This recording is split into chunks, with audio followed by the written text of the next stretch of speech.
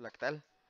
En este video tutorial vamos a aprender a integrar un receptor universal CE3 a un panel Vista 48. Lo primero que tenemos que realizar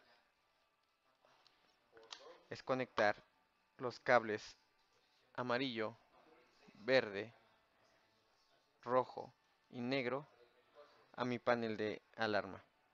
De manera similar a como yo conecto un teclado o cualquier otro dispositivo que se comunique de manera serial con mi panel vista 48.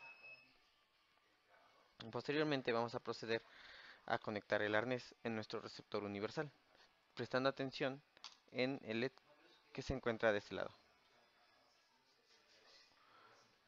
Vamos a conectar el arnés y vamos a contar el número de veces que flashea nuestro LED. En este caso hemos observado que ha flasheado 6 veces, lo cual si yo veo la siguiente tabla me va a indicar que eh, estoy conectando un dispositivo Honeywell de la serie Vista. Si yo escogiera, por ejemplo, algún otro panel, como por ejemplo un NAPCO P816, el número de flashes que emitiría mi LED sería 9. Una vez realizado esto, vamos a proceder a programar nuestro control que viene con el receptor universal.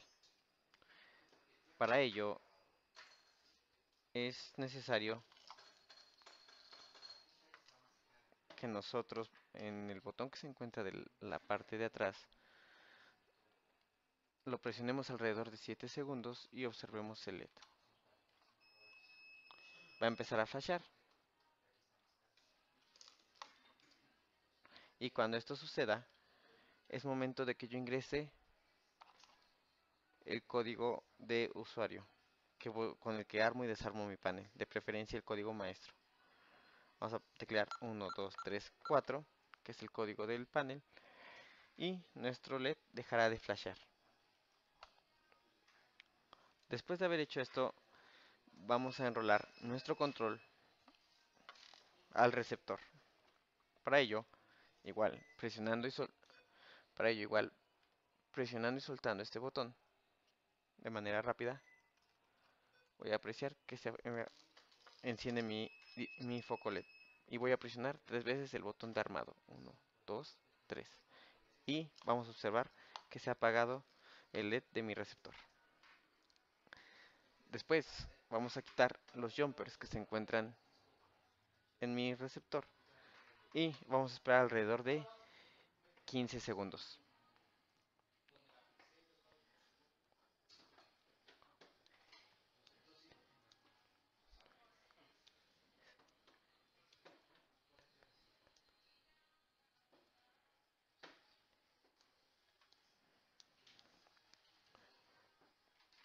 Después de esperar este tiempo, vamos a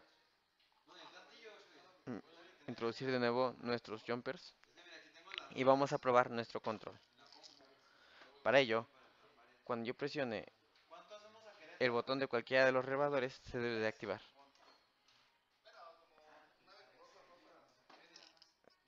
Por ejemplo, si yo presiono un botón de armado, podemos observar que nuestro panel se ha armado. Podemos desarmar nuestro panel. Eh, también podemos observar que el efecto es un poquito diferenciado, no es inmediato, pero al final de cuentas no es mucho el retardo. Recuerden que nosotros podemos activar una salida de garaje y un relevador.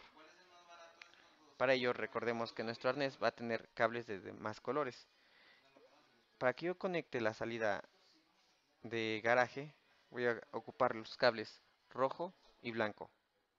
Si yo deseo ocupar el relevador, voy a ocupar los cables azul, café y blanco con café.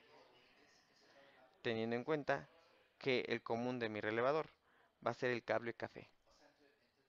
También tenemos los cables morados y blanco con morado, los cuales me van a servir para que yo conecte el LED que viene en el equipo.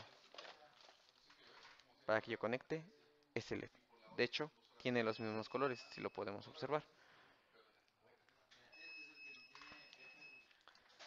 Eh, es importante decir que aquí no es importante direccionar nuestro dispositivo. Es prácticamente de una manera automática la manera de comunicación que va a tener el receptor con el panel. Si yo deseo eliminar el control, va a bastar con que yo deje presionado el botón de acá atrás y se apague el LED, vuelve a encender y con ese proceso he eliminado el control de mi receptor. Vamos a probar.